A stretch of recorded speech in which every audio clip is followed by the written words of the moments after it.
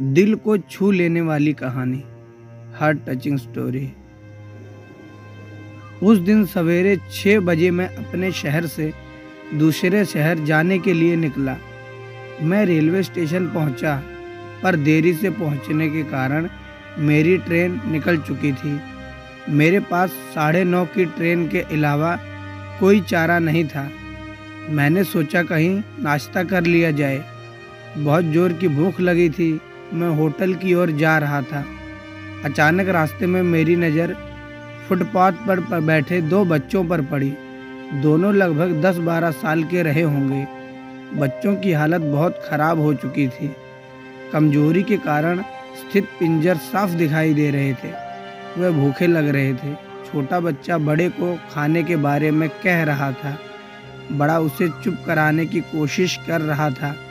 मैं अचानक रुक गया। दौड़ती भागती ज़िंदगी में यह ठहर से गए। जीवन को देख मेरा मन भर आया। सोचा, इन्हें कुछ पैसे दे दिए जाएँ। मैंने उन्हें दस रुपए देकर आगे बढ़ गया। परंतु मेरे मन में एक विचार आया, कितना कंजूस हूँ मैं, दस रुपए का क्या मिलेगा? चाय तक ढंग से ना मिलेगी। स्वयं पर शर्म आई, फिर वापस लौटा। मैंने बच्चों से कहा, कुछ खाओगे? बच्चे थोड़े असमंजस से मैं पड़े। मैंने कहा, बेटा, मैं नाश्ता करने जा रहा हूँ। तुम भी कर लो। वह दोनों भूख के कारण तैयार हो गए।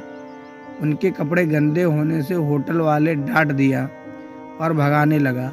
मैंने कहा, भाई साहब, इन्हें जो खाना खाना है, वो उन्हें दो पैसे मैं दे दूँगा। होटल वाले ने आश्चर्य से मेरी ओर देखा। उसकी आँखों में उसके बर्ताव के लिए शर्म साफ़ दिखाई दी। बच्चों ने नाश्ता, मिठाई व लस्सी मांगी। सेल्फ सर्विस के कारण मैंने नाश्ता बच्चों को लेकर दिया। बच्चे जब खाने लगे, उनके चेहरे की खुशी कुछ निराली ही थी।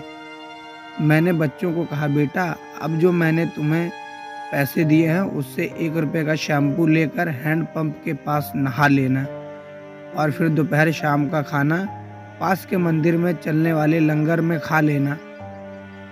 और मैं नाश्ते के पैसे देकर फिर अपनी दौड़ती दिनचर्या की ओर बढ़ निकला।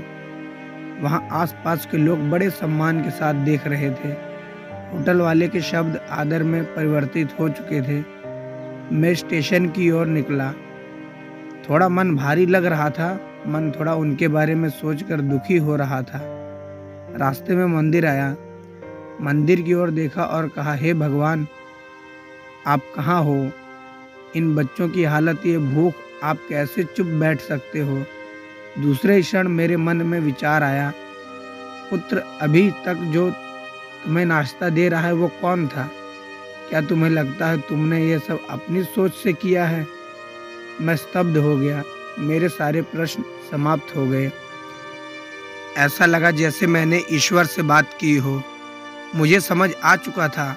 हम निमित्त मात्र के हैं और कार्यकलाप के वो महान हैं। भगवान हमें किसी की मदद करने तब ही भेजता है जब वह हमें उस काम के लायक समझता है।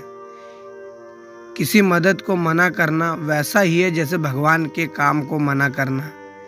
अंतः आपको कोई भूखा या लाचार मिले या आपसे कुछ खाने के लिए मांगे तो आप अपनी सामर्थ्य अनुसार मदद ज़रूर करें। क्योंकि स्वयं भगवान ने आपको इस काम के लिए चुना है। चलिए आज की सुहानी सुबह का शुभ आरंभ करें। कुछ ऐसी संकल्प के साथ कि वृक्षावृद्धि को हम बढ़ावा ना दें, लेकिन अशक्त, लाचार और भूखे की मदद हम ज़रूर करें।